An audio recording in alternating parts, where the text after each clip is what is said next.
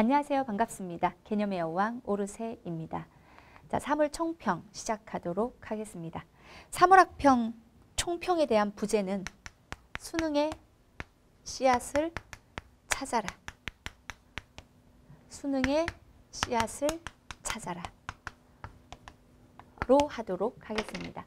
자, 3월 문제는 아시다시피 전년도 수능을 분석해서 낸 문제이기도 하지만 3월 학평의 문제가 그 해 수능에도 영향을 주는 경우가 꽤 많았었기 때문에 이 3월 학평 문제가 우리에게 주는 교훈, 하나하나의 문제 속에 들어있는 개념, 그것을 정확히 이해하고 그리고 이와 관련된 문제는 다시는 틀리지 않도록 하는 것, 그런 실력을 갖추는 것, 그것이 바로 지금 우리가 해야 되는 일이며 그것들이 수능의 씨앗이 될 수 있다라는 생각으로 3월 학평은 공부해야 된다.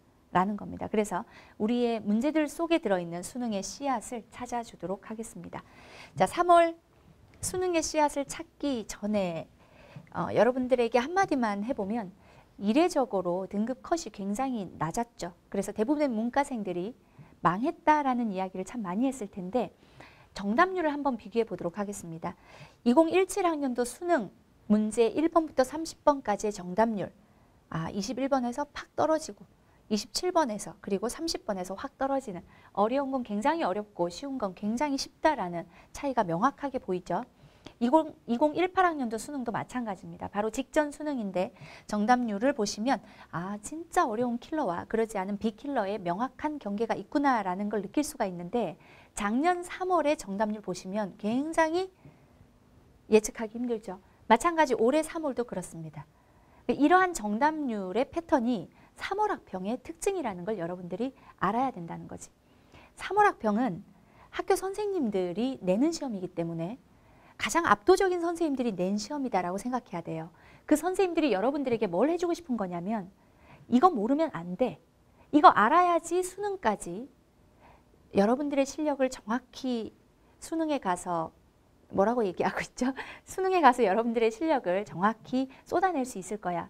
이게 아는 것 같지만 사실은 이것까지 알아야 돼 라고 여러분들에게 정확한 개념을 일깨워주는 문제들 그러니까 앞에 있는 문제라도 하나하나 허투루 낸 것이 아니라 정확한 개념을 아는 사람과 그렇지 않은 사람을 정확히 골라내는 그런 문제들을 만들어주기 때문에 정말 여러분들에게 이건 꼭 알고 가자라는 애정이 가득 담긴 그런 문제거든요. 그래서 매년 3월에는 이런 정답률을 보입니다. 그래서 3월 결과는 상처를 받을 필요가 전혀 없어. 정말 말 그대로 문제 속에 들어있는 교훈을 받아들이고 배우면 되는 거라는 거죠. 그래서 내가 지금 몇 등급인지 상대적으로 내가 어느 위치에 있는지에 신경 쓰지 말고 나 하나만 보시고 내가 받은 점수, 내가 놓쳤던 문제들, 그리고 그 안에 들어있는 개념들 이런 것들을 모두 내 약점이 사실은 도드라지는 시험이어야지만 훨씬 좋다라고 했었죠. 3월을 준비하는 캐스트에서 아마 그런 얘기를 했을 겁니다. 어, 내 약점이 도드라지는 시험이었을 거고 그 안에 있는 내, 내 약점을 찾아내어서 완전히 어, 해결하는 그런 자세로 6편까지 달려가면 되겠습니다. 자, 그래서 베스트 오답률 7위를 보시면 30번부터 29번, 21번 예상하죠? 그리고 25번. 자, 이게 굉장히 의외이고 그리고 20번, 16번, 그리고 18번. 이렇게가 베스트 오답률 7위 안에 들어가는 일곱 문항인데 각각의 문제 속에 들어있는 수능의 씨앗을 살펴보도록 하겠습니다. 자, 30번 문제는 two step에 걸쳐서 문제를 풀어야 되고 마지막에 홀짝홀짝 규칙을 가지고 있는 주기 수열의 값, 합을 해결해 줘야 되는데 이 one, two step에서 아, 3 step이죠. 그죠? one, 첫 번째 step에서 하나의 유리함수를 보고 어, 유리함수가 나왔어? 그래프 위치, 개형이 가장 중요해. 그 그래프의 위치와 개형을 결정하는 건 점근선과 표준형으로 만들었을 때 x분의 k라고 한다면 그 위에 있는 숫자의 부호 즉 y는 x-p분의 k 플러스 q라고 하는 유리함수의 표준형이 있었다면 이 점근선 그리고 k의 부호 이게 유리함수에서 가장 중요한 핵심 정보가 된다는 거죠. 그래프의 위치를 결정해주는 그리고 증가 감소를 결정해주는 그러니까 이 조건식이 나한테 주는 건 점근선의 위치와 그리고 위에 올라간 이 수의 부호였다는 거죠. 그걸 가지고 P값의 최소인 M을 찾아내시고 다시 한 번 더 같은 논리를 반복 또 한 번 함수값의 비교를 받아서 아 주어진 gx의 점근선이 어디 있어야 되는지 그리고 그래프의 점근선을 기준으로 어느 쪽에 그래프가 위치하는지를 결정해주는 그 k라는 부호 그 두 가지 점근선의 y값은 둘 다 제공해 주니까 점근선의 x값과 그리고 위에 올라가는 K라고 하는 표준형에서 나오는 그 K라고 하는 것의 부호 이 두 가지 조건을 나한테 주고 있는 거죠. 두 번 같은 논리를 반복하고 있기 때문에 두 번 똑같이 생각해서 따라가고 마무리는 주어지는 AN의 꼴 자체가 N이 홀일 때와 짝일 때 다르게 주어지니까 홀짝 홀짝 홀짝 주기수열에서는 첫 항과 두 번째 항을 묶어서 하나의 항으로 보는 게 훨씬 편하죠. 그렇게 해서 첫 항부터 스무 번째 항까지 스무 개의 합이 아니라 둘을 묶어서 한 세트로 묶어서 한 세트로 열 세트의 합으로 보면 훨씬 계산이 간단하다라는 출제 의도가 뭐야 그러면 유리함수 그래프 개형이라는 거죠. 유리함수가 나오면 나한테 시키는 게 그래프 개형밖에 뭐가 있어. 그래프 개형을 결정하는 건 누구야? 점근선하고 K의 부호 혹은 값이지. 그게 전부야라는 확신을 가지고 그 요소를 찾아내겠다라는 관점 포인트를 가지고 조건식을 봤으면 헛짓 없이 수없이 많은 계산 없이 정확히 리드해서 문제를 끝까지 풀어낼 수 있었을 거다. 실제로 선생님이 오늘 현장 학생들과 함께 해설 강의를 촬영을 했는데 그 해설 강의를 한번 보세요. 깜짝 놀랄 정도로 이렇게 쉬운 거야? 라는 생각을 할 수가 있을 거다. 단 그것이 쉬우려면 유리함수에 대한 완벽한 개념이 되어 있어야 된다라는 거죠. 자, 그 다음 오답률 2위 문제는 29번이죠. 이렇게 한 번은 나올 수밖에 없는 모든이라는 말과 어떤이라는 말은 국어적인 용어가 아니라 수학적으로 우리에게는 수학적으로 모든은 다 그래야 돼. 모든 원소가 저 조건을 만족시켜줘야 돼. 하지만 어떤은 하나라도라는 뜻이잖아. 그죠? 하나라도 만족시키면 저 명제는 참이 되는 거야. 모든가 어떤의 차이는 평가원에서 종종 나오고 있고 1년에 한 번 정도 보여요. 그럼 학생들이 대부분 힘들어해. 어떤이란 말 자체가 진짜 뭐 어떤 어떤 말로 받아들여야 되는지 쉽지가 않거든요. 그래서 모든가 어떤에 대한 선생님이 개념 에센스에서도 굉장히 강조를 하고 모든만 들어있는 문제, 어떤만 들어있는 문제, 모든가 어떤을 비교하는 문제, 제작 문제까지 해서 에센스 교재에 담아놨었는데 역시 어, 적중이죠. 29번 자리에 모든가 어떤이 같이 들어있는 문제가 나왔습니다. 말 한마디 한마디 명제라는 단원이 존재하는 이유가 나에게 주어지는 명제의 참 거짓을 판별하기 위한 것이고 참 거짓을 판별하는 데에는 말 한마디 한마디가 너무 결정적인 조건이 되어준다라는 거의 대표 주자가 뭐든가 어떤이라는 거예요. 알겠죠? 오케이. 자, 그 다음 21번. 모든가 어떤에 대해서 어, 난 아직 잘 모르고 있어. 그럼 반드시 다시 복습하시기 바랍니다. 자, 그리고 3월 나형 21번. 자, 21번 문제는 어, 조건이 강력하게 두 개가 주어졌죠. G와 F 함수의 합성 함수는 항등 함수다. F를 통과한 놈이 다시 돌아가야 된다라고 하는 F와 G가 꼬이는 관계를 가지고 있다는 이건 굉장히 흔히 봤던 조건일 텐데 하나 또 하나 주어진 아주 압도적인 조건이 여기 있다는 거죠. 1에서 9까지가 공역이야. 함수값, 날아오는 화살을 받으려고 대응하는 공역 값이 1에서 9까지인데 같은 x값에 대해서 f와 g의 합이 일정하다. 같은 정의역에 대해서 같은 식의 x는 같은 값이니까 정의역이 같을 때의 f와 g의 합은 항상 일정해야 된다.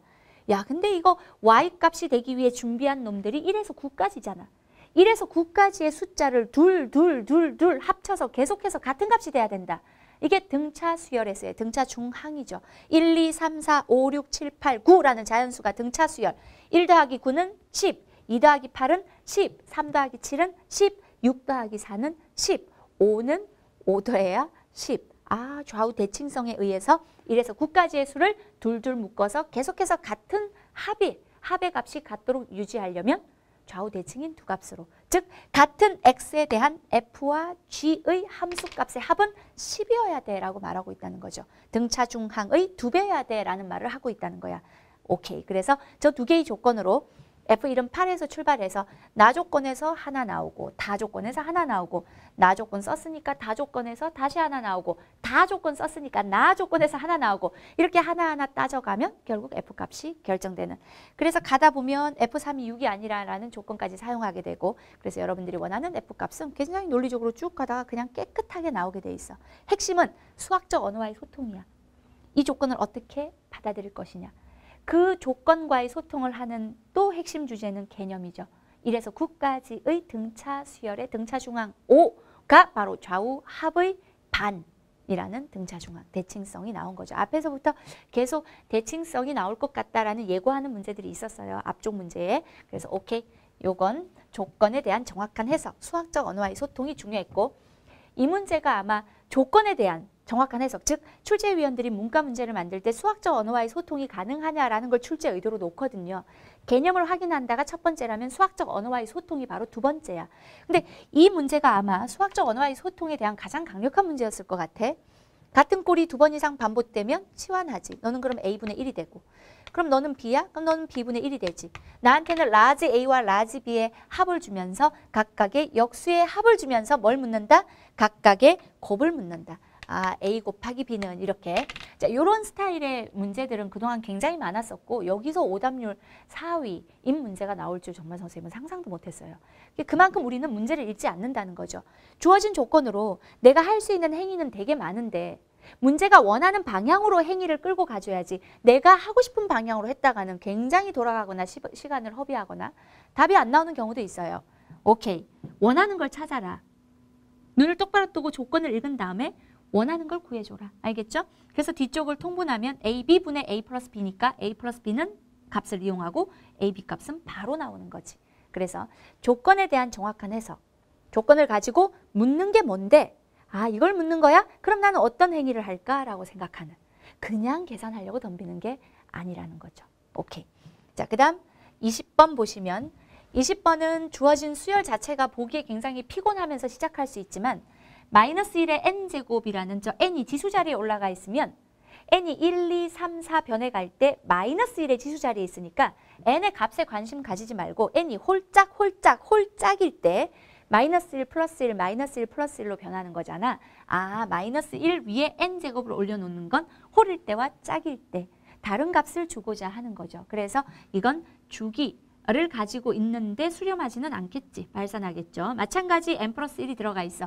이렇게 발산하는 놈들을 더하고 곱한 것이 수렴한다. 수렴하면이라는 조건에 해당하는 P값, Q값 찾아서 결국 디귿이 가장 중요하죠. 극한값의 기본 성질. 여러 가지 수열에서 등차 등비 아니면 전부 N의 1, N의 2, N의 3, N의 4 집어넣어서 찾아내라 라고 했던 축차 대입법 사용하는 거랑 뭐 해야 되는 행위는 명확해. 등차 등비 아니면 내가 할 수 있는 건 그것밖에 없어. 단 n이 마이너스 1의 위에 있으니까 아 홀짝 홀짝 홀짝 반복되겠구나. 주기가 인, 주기 수열이구나. 둘 다. 이런 생각을 할 수 있죠. 자 그리고 수열의 극한에서 마지막. 주어진 수열이 수렴한다. 수렴 결정됐어. 그 수열의 사칙연산으로 표현해서 새로운 수열의 극한을 구하라. 라고 하는 극한값의 기본 성질이 앞에서부터 첫 페이지의 3번 문제에서 그리고 중간에 10번 문제였나? Am분의 1이 0으로 간다. am분의 1을 만들어내라. 일관되게 디귿으로 연결이 됐지. 오케이? 자, 여기 바로 5위 문제입니다. 여러 가지 수열을 보는 순간 n의 1, n의 2, n의 3 집어넣어야지. 그리고 수열의 극한인데 수렴 결정된 수열을 준다. 그러면 새로운 수열을 수렴 결정된 수열로 표현한다. 됐습니까? 자, 그 다음 16번. 야, 30번에서 유리함수 그래프 개형을 결정하라라고 했으면 여기서는 무리함수 하는 순간 함수에서 나한테 원하는 게 뭔데? 함수에서 원하는 건 증가냐 감소냐 아래로 볼록이냐 위로 볼록이냐인데 문과생들에게 아래로 볼록이냐 위로 볼록이냐를 자칫 잘못 물으면 F2 prime이 되기 때문에 우리에게 원하는 건 거의 한 가지야. 증가야 감소야. 이거지. 그 증가야 감소야를 누가 보여줘? A하고 B라는 이 값들의 정보에 의해서 증가인지 감소인지가 판단되는 거죠 아 그런데 A, B가 자연수라고 하니까 A가 자연수야? A 루트 X는 0,0에서 위로 오른쪽으로 가는데 B 값이 자연수야? 올라갈 수 있다는 거죠. 그래서 주어진 범위와 만나는 당연히 식이 아니라 그래프가 어디서부터 어디까지 움직일 수 있다라는 부등식으로 마무리가 되는 거죠. 그래프 개형이야. A하고 B라는 미확정 계수를 보는 순간 부호는 이렇게 접근해야죠. 부호는 유리함수를 보는 순간 점근선은 그리고 위에 있는 K의 부호는 이듯이 무리함수를 보는 순간 미확정 계수들의 부호가 가장 중요하다는 거죠. 그게 바로 그래프의 방향성과 위치를 결정하니까. 그죠? 자, 마지막으로 18번 문제가 일곱 번째 오답률. 이 문제가 왜 어려울까 생각해 보면 문과생들 어, 우리 선생, 선생님의 연구원들 중에서 문과 질문을 받는 연구원들과 대화를 해보니까 이 문제를 틀리는 건 이유가 없대요, 그냥. 그냥 싫어한대요.